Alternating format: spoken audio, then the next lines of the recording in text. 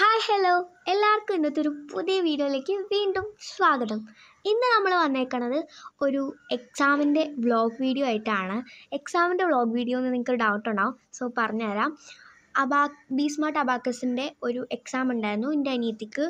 അപ്പോൾ state level എക്സാമാണ് അപ്പോൾ നമ്മളത് എഴുതാൻ വേണ്ടിയിട്ട് എറണാകുളം അങ്കമാലി എന്നിട്ടുള്ള പ്ലേസിലേക്ക് പോയിട്ടുണ്ടായിരുന്നു. അപ്പോൾ അവിടെ പോയ വിശേഷങ്ങളും കാര്യങ്ങളൊക്കെയാണ് ഈ വ്ളോഗിൽ ഉൾപ്പെടുത്തിയിരിക്കുന്നത്. നമ്മൾ ഈ ബസ്സിലാണ് പോയത് കേട്ടോ. അപ്പോൾ ബാക്കി എല്ലാ വിശേഷങ്ങളും ഈ വീഡിയോയിൽ തന്നെ ഉണ്ട്. അപ്പോൾ ആരും സ്കിപ്പ് ചെയ്യാതെ തന്നെ വീഡിയോ കാണാം. ഇനി നമുക്ക് അവിടെ പോകണ വീഡിയോ ഒക്കെ ഒന്ന് കാണാം.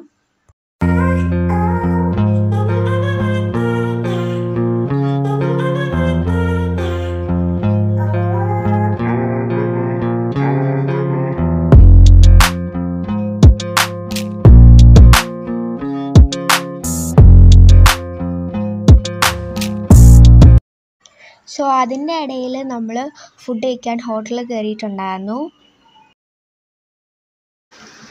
പിന്നെ നമ്മൾ അവിടെ എത്തി. അപ്പോൾ അവിടുത്തെ വിശേഷങ്ങളും കാര്യങ്ങളൊക്കെ നമ്മൾ കാണിച്ചു തരാം. ഭയങ്കര തിരക്കായിരുന്നു.